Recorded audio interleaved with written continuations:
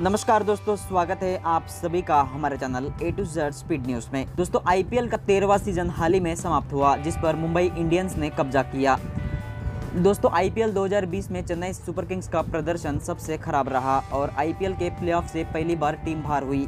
तो वही Chennai super Kings के कप्तान एम एस धोनी आईपीएल 2021 खेलने के संकेत दे दिए हैं। लेकिन इस वीडियो में हम आपको चेन्नई सुपर किंग्स के उन खिलाड़ियों के बारे में बता रहे हैं, जिनकी छुट्टी चेन्नई सुपर किंग्स से हो सकती है।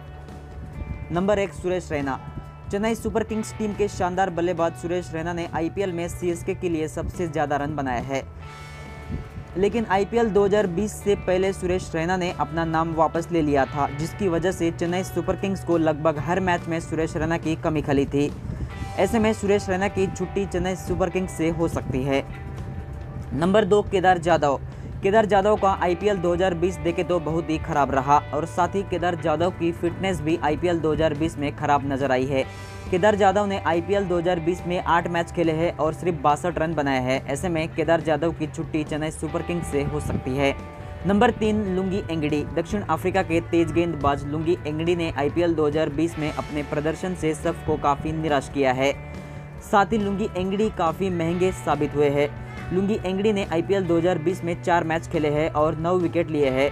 ऐसे में लुंगी एंगड़ी की छुट्टी चेन्नई सुपर किंग्स से हो सकती है।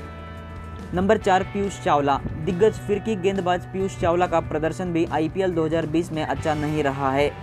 साथ ही उनकी फिटनेस भी पहले जैसे नहीं रही।